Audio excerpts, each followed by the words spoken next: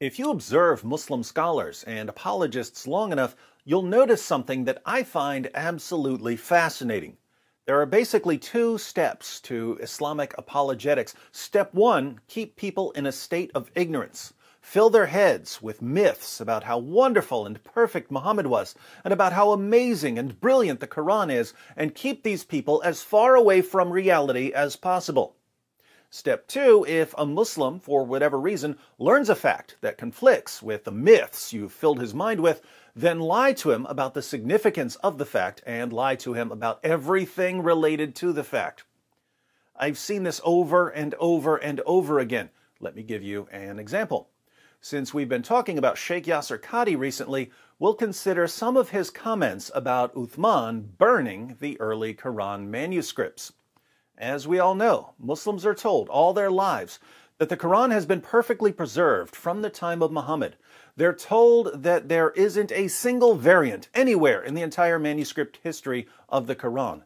They believe this utter nonsense because, again, step one of Islamic apologetics is to keep Muslims in a state of ignorance.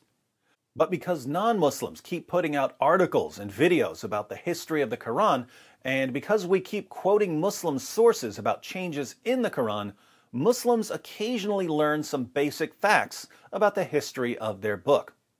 For the past two decades, critics of the standard narrative have been putting out a ton of material, and many Muslims, thanks to us, have learned something interesting about the Quran. They learned that Uthman, the third of the rightly guided caliphs, burned the early Quran manuscripts. Burning books is something that tends to stand out in people's minds when they hear about it. So, when we show Muslims from their own sources that Uthman burned the early Quran manuscripts, they tend to remember this. Naturally, over the past two decades, many Muslims have gone to their scholars, asking them to explain why the Caliph Uthman had to burn the early manuscripts. These concerned Muslims said, in effect, You told us that the Quran has been perfectly preserved, right down to the letter. How can we reconcile our belief in one perfect Quran with early Muslims burning manuscripts? Now, if my theory is correct, a Muslim scholar who responds to this question is going to minimize the significance of the fact he's trying to account for, and he's going to lie about everything related to the fact.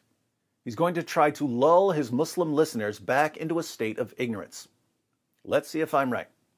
In a 2012 video titled, Why Did Uthman Burn the Quran? Sheikh Yasir Qadhi admits that people have been asking him about this. The question that many people ask us is why did the third caliph uh, of, of Islam, uh, Uthman, why did he burn all of the Qurans uh, of his reign and his empire? So people found out from us that Uthman burned the early Qurans, and they went to scholars like Sheikh Yasir Qadhi for answers. Yasir Qadhi informed them that in Islam, burning the Quran isn't exactly a bad thing. Uh, you know, this is a, a cultural misunderstanding because from the Islamic tradition, when you burn the Quran, you're not disrespecting it. In fact, this is the way to respectfully dispose of it. Why did Uthman burn Qurans? Well, some Muslims were making copies of the Quran on their own and they didn't always do a good job. And people would simply uh, copy with their own hands any copy that they had. And obviously, human errors occurred. Obviously, when you have six, seven, eighth generation copyists, anybody at home who knows how to read and write is just copying the Quran, obviously errors are going to creep in. And there's no question that there were variances, spelling mistakes. But Uthman had the solution make one standard version of the Quran. The third caliph, Uthman, made a very simple decree. And he said, Look, anybody who wants a copy of the Quran has to copy it directly from the master copy. And to facilitate this, Uthman made a number of master copies from the original one. And he sent one uh, master copy to every major city in the Islamic province. And, he's, and this master copy was kept in the grand mosque of the city. And from then on, anybody who wanted a Quran was free to go to the master copy and copy it directly from the original copy that was in the, uh, that was in the main mosque of the city. But what about all of the other Qurans with all of the mistakes? Therefore, when this was done, Uthman then said, anybody who has a private collection, anybody who has his own handwritten Quran that's 7th, 8th, 9th generation away, you need to dispose of it. And how is it disposed of? The way that you dispose of Qurans is you burn them. Still sounds a little creepy, burning books. What if people didn't want to hand over their copies of the Quran? And so everybody, there was no hue and cry. There was no, everybody voluntarily agreed this is a great idea. Why shouldn't we go directly to the source? Why shouldn't we go directly to the official Quran? And so everybody agreed, and therefore the people's Qurans were compiled by the authorities. They didn't go house to house searching for them, they didn't go confiscating. It was a voluntary move, and everybody agreed because it makes sense. Everybody understood the problem. So it was totally voluntary, and everyone agreed. And the Quran lived happily ever after.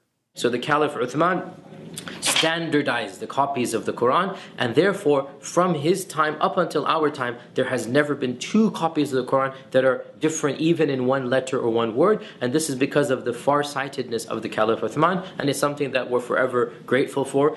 Now, we already know that Yasir Qadhi's claim that there are no Quran variants since the time of Uthman is a lie wrapped in a fantasy and smothered with pure evil.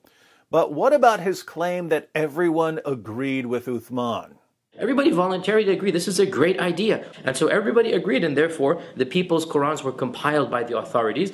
Everyone thought it was a great idea. It was a voluntary move, and everybody agreed because it makes sense. Everybody understood the problem.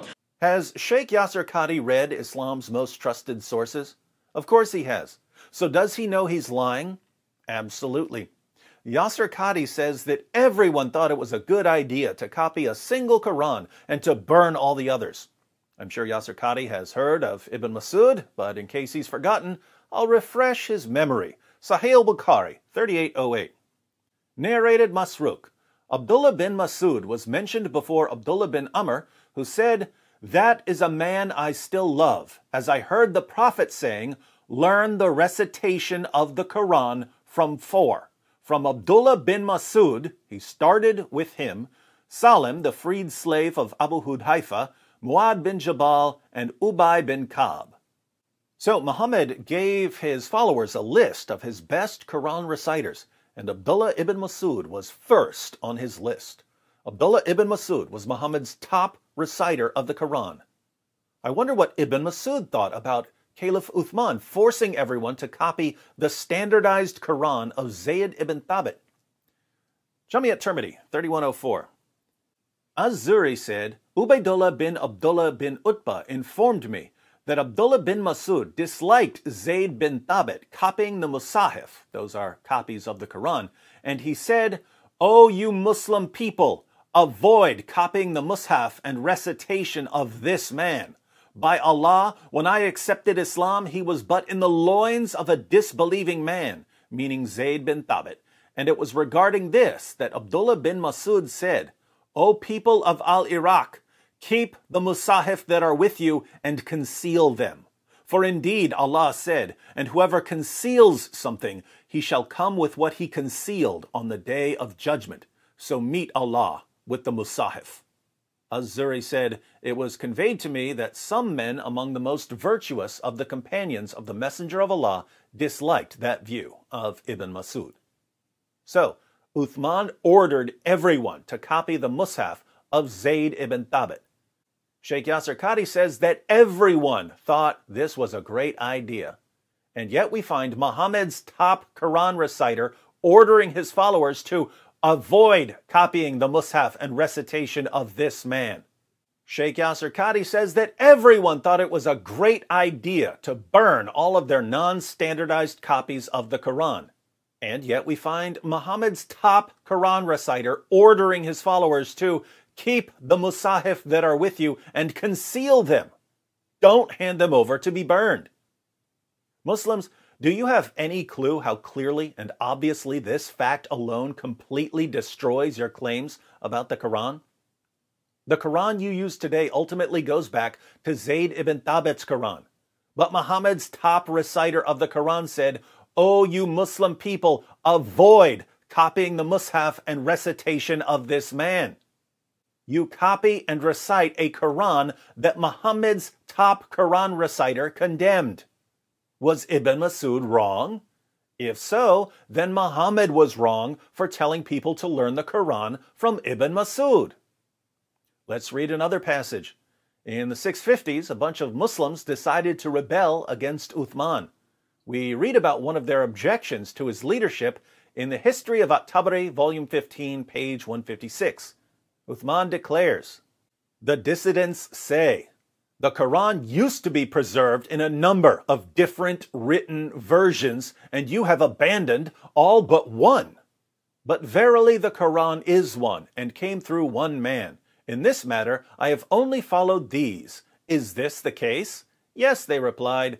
They sought to have him kill the dissidents. And we have a footnote the reference, of course, is to Uthman's decision to establish a single definitive recension of the Quran and to destroy the existing versions with their many discrepancies.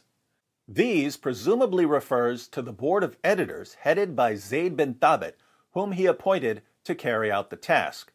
So when Uthman says, In this matter I have only followed these, he's saying, I just went along with Zayd ibn Thabit and co. So, Sheikh Yasser Qadhi claims that everyone thought it was a great idea for Uthman to standardize the Quran and to burn all competing Qurans. And yet, there were Muslims who condemned Uthman for doing this. By the way, notice the lie of one Quran being established. The reason Uthman decided to standardize the Quran was that different Qurans were being used by different Muslims. Uthman issued an official version and ordered everyone else to hand over their Qurans. Even Ibn Masud, Muhammad's top Quran reciter, despised Zayd's version of the Quran. Many people in the Muslim community were upset at Uthman for doing this. But when it was brought up to Uthman, he would reply, Come on, we all know there's only one Quran, right? What we see in these passages is that there were two kinds of Muslims Quran focused Muslims and unity focused Muslims. Quran focused Muslims had a Quran first mentality and they wanted to be honest about the Quran. Unity focused Muslims had a unity first mentality and they were quite happy to lie about the Quran as long as their lies led to greater unity in the Muslim community. 14 centuries later, we can see that the unity focused Muslims won, at least on this issue. If a Muslim so much as thinks about telling the truth about the history of the Quran, he will be abrogated by his fellow Muslims who will view him as a traitor. In fact, this is the best way to understand the current crisis over Sheikh Yasser Qadhi. For many years, Yasser Qadhi has been a unity focused Muslim outwardly, but a Quran focused Muslim inwardly. In public, he would proclaim the perfect preservation of the Quran from the time of Uthman. But behind closed doors, he would admit that there are holes in the narrative. Some Muslims decided to bring the real Yasser Qadhi to the surface by publishing his private emails. And in his now abrogated interview with Muhammad Hijab, Yasser Qadhi admitted that the standard narrative has holes in it. Sheikh Yasser Qadhi is currently being abrogated by a community that has dug itself so deep into a pit of fantasy and delusion, the mere mention of facts and evidence is enough to get you classified as a heretic or an apostate. In the 7th century, they burned manuscripts. In the 21st century, they delete videos but the goal is always the same. The only difference is that whereas we can't recover burned manuscripts, we already downloaded the deleted videos. It seems that Uthman's desperate attempt to impose the myth of one Quran was all in vain.